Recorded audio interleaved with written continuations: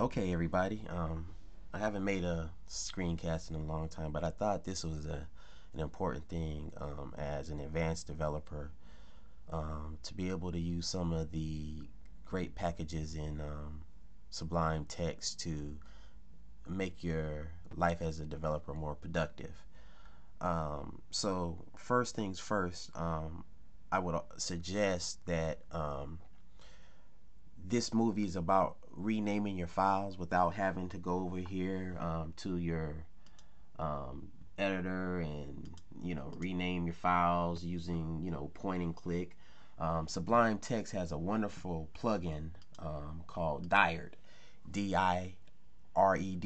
And let me do Control Shift P and install.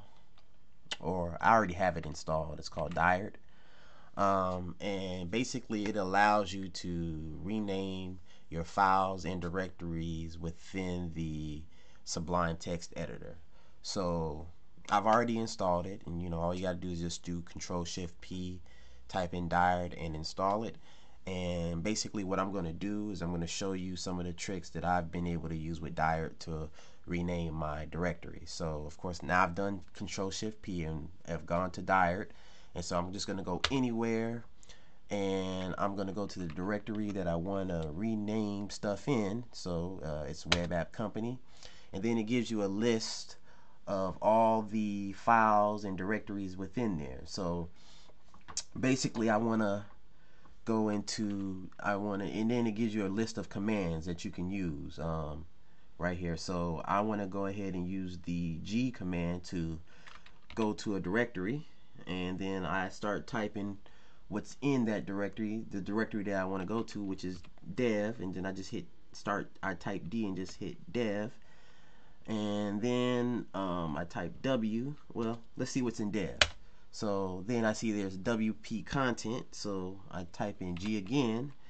And so I want to go into WP content so I type W and hit tab.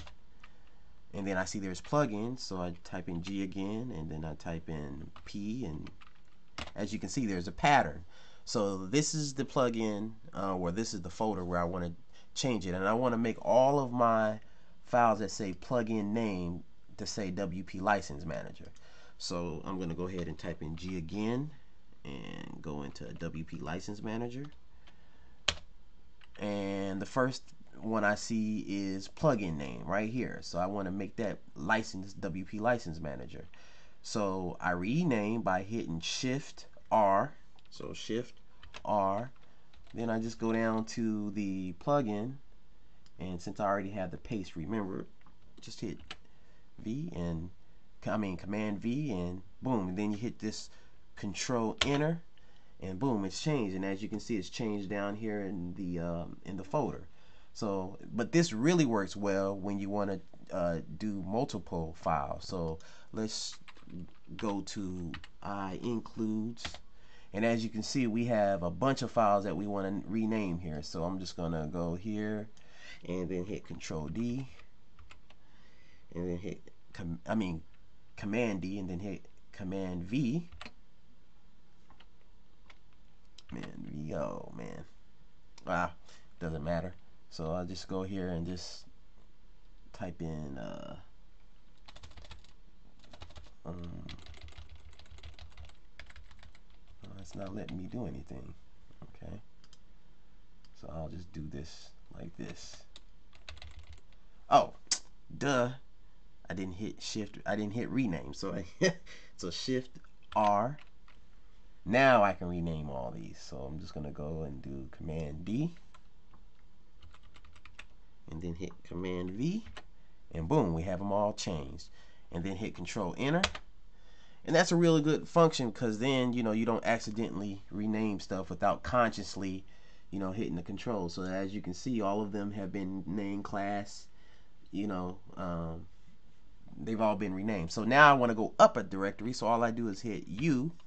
And so I'm up a directory. And I can go into admin. Um, so hit G and then hit A and then hit tab. And so then I can go into, oh, I need to change that. So I need to hit uh, shift R and then change this.